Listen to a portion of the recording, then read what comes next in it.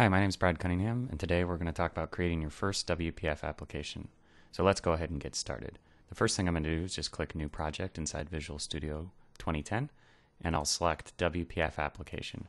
We can give this a name. Uh, I'm going to go ahead and leave it at WPF Application 2, and we'll pick a folder for to save it in. Once you click OK, what's going to get created is your WPF uh, project template. If we go over to our Solution Explorer here, you can see that we've got an app.xaml and a main window.xaml that's been created. And what's shown to us in the designer here is a split screen. On the bottom we have XAML, which if you're familiar with HTML or XML, the syntax will look similar with these angle brackets and opening and closing tags. And on the top is our visual design surface.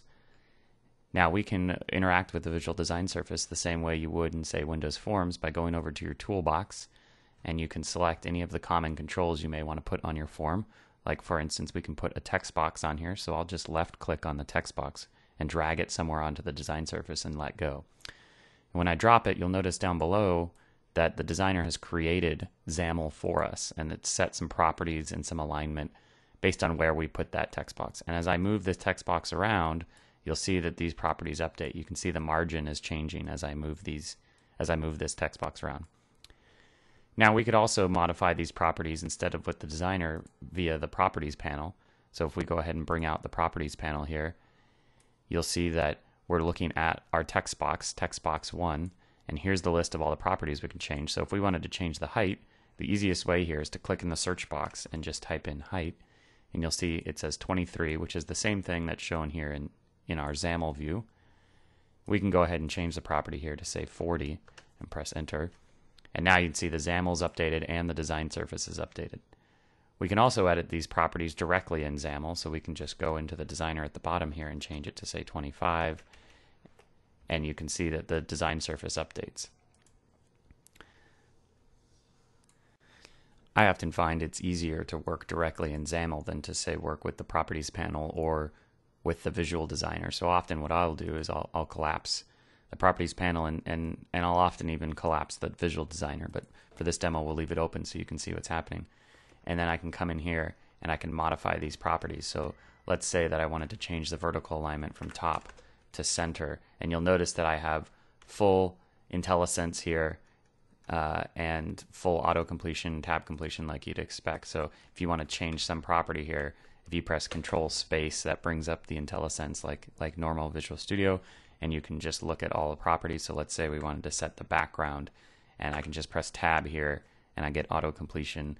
You can come down here and let's let's say set it to Azure and now you can see that the the text box up here is now got a new background property and we've set that directly in XAML. Now we can also create elements directly in XAML without having to use the toolbox. You can just start typing an open tag and you'll get auto completion and we'll say type button and press tab and now you can see that I've got the auto completion for the button here. So I can say content equals, say, click me. And then I'll just close the tab in line. Um, and let's give it a height and a width so it doesn't span the entire screen. And you can see the designer is changing as I'm editing these properties up above. Now, one other thing you may want to do now that we've got a button on our form is we may want to put, say, a click handler on it and that's going to involve writing some C sharp code. So what we can do, just like in Windows Forms on the designer, you can double click on the button and that will create a button click handler for you in code behind. And if we take a look at our Solution Explorer to see where we're at, we've got a main window XAML, and if you expand it, you'll see there's a main window.xaml.cs. That's the code behind file for this window that we're working in. So here's main window, and you can see it's a partial class. That's because we have a XAML piece as the front end and this C sharp piece is the back end. Those are the two partial classes that make up your window. And now if we flip back to our XAML page here, you'll see that since we double clicked on the button, the designer generated an attribute uh, in our XAML tag called click and set it equal to the button click handler. Now, we can also, we'll go ahead and delete this and go back to our XAML and we can also create this in XAML directly. Instead of double clicking on the editor, I can type click. And you'll notice IntelliSense shows me that that's an event. And if I press tab to complete, now you'll see IntelliSense is telling me that it will create a new event handler for me. So you can go ahead and just press tab there and it will do the same thing. It'll generate an event called button click. And now, if we right click in XAML and say view code, that will take us to our code behind, you can see that that handler has been created for us. There's one final way that these things can be, that event handlers can be created. So let's go ahead and delete this again. We'll flip back to XAML. I'm going to delete the attribute, the click attribute setting since we've deleted the code behind for it. Just like we were able to modify properties using the properties panel, I'm going to clear my search filter from earlier here. Just like you're able to modify the properties, you notice that there's a tab here also for events.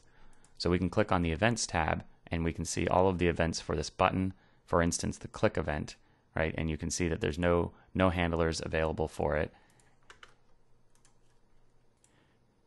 because we haven't uh, we, we deleted the handler before in the backend. So if you want to create a handler, we'll go ahead and click inside the text box here and press enter. And that will add a button click handler for you.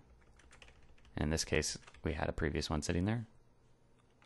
So now, same thing, the click event is now wired up to button click, and we've done that through the properties panel. So those are three ways that, that you can modify properties or set events on an object. You can do it directly in the design surface.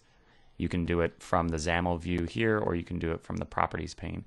None of this requires writing C sharp code, of course. Uh, the only maybe code you'd be writing would be XAML. So again, if you want to create new elements in XAML, it's an opening tag. And let's say create a shape here. And you can see I'm setting all of these properties directly in XAML and getting full IntelliSense as I type.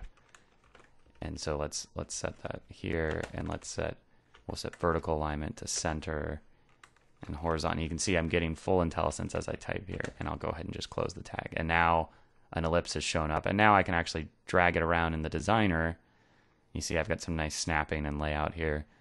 And as I do that, my XAML gets updated. So I just drag this ellipse around and now the designer added margin settings for me to position it inside my form.